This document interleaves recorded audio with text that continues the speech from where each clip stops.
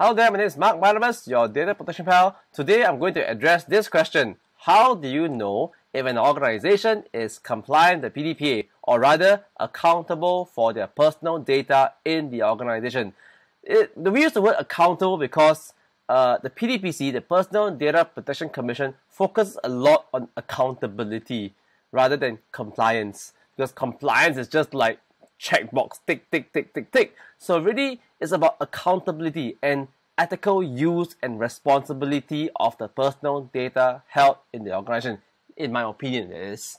So this is a, uh, a post made on the PDPC website, or rather, PDPC Facebook page, to help you as a consumer or even organization uh, find out if the organization you work with or transact with is accountable. The first question you can ask is if the organization have a DPO, a data protection officer. The second thing you could do is to check the website to see if they've got a privacy policy or a notice. And the third thing you can do is to check if they got a data protection assured or a data protection trust mark. The DPTM, the data protection trust mark, is a mark of excellence to indicate that the organization has high standards of data protection uh, within.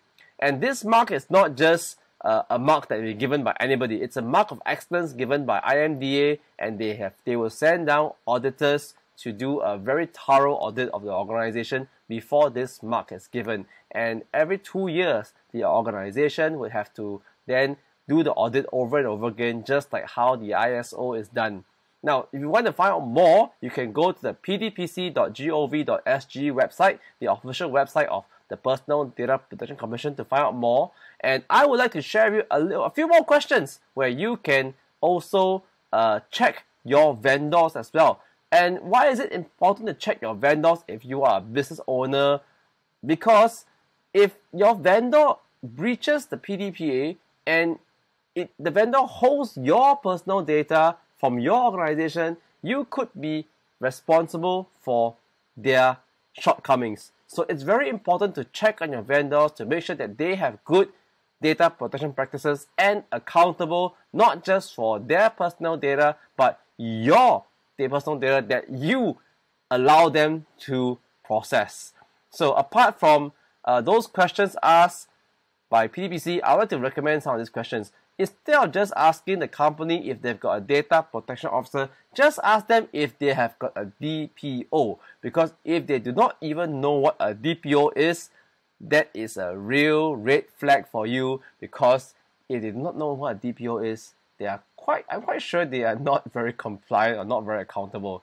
The second question you can ask if they've got a work process or SOP for their staff if they handle personal data, particularly NRIC and other uh, unique identifiers. The third thing you should do is ask them for their privacy policy or just check their website. The fourth thing is ask them if they are able to comply with the 11 obligations of the PDPA. Now, what are the 11 obligations of the PDPA? They are very important to, uh, uh, points to know. If you're not familiar or you're not sure, please uh, enroll for a course, uh, either a one-day course that I run with my colleagues or sign up for the three-day fundamentals of PDPA course. You can ping me or scan the QR code in the next page for more details. Now, the, the, the, the question that really uh, hits it on the nail really hard is this. Ask if they have got a DPMP. What is a DPMP?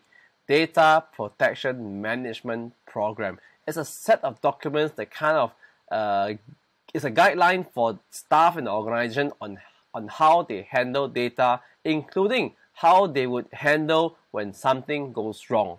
So if the company doesn't even know what a DPMP is, if you do not know what a DPMP is, please, I urge you, enroll for a course, be educated, or even educate your team.